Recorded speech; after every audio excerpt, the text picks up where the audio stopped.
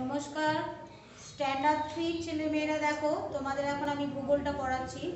ভূগোল তোমাদের পড়া দেওয়া ছিল ছাব্বিশ পাতায়, ভাষা ও ধর্মের বৈচিত্র্য তার আগে পর্যন্ত। আজকে ভাষা ও ধর্মের বৈচিত্র্য পর্যন্ত থেকে পড়াচ্ছি। দেখো, ভাষা ও ধর্ম। আমাদের পশ্চিমবঙ্গে অনেক জেলা, ভারতবর্ষে অনেক রাজ্য আছে। প্রত্যেকটা রাজ্যের ভাষা আলাদা, ধর্মও আলাদা। এবার দেখো এর ভিতরে কি আছে?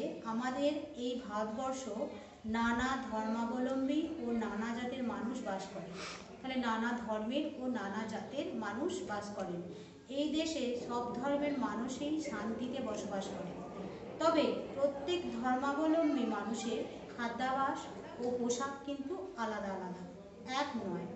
বিভিন্ন ধর্মাবলম্বী মানুষেরা বিভিন্ন ধরনের খাদ্য পছন্দ করেন, বিভিন্ন ধরনের পোশাক ব্যবহার করেন।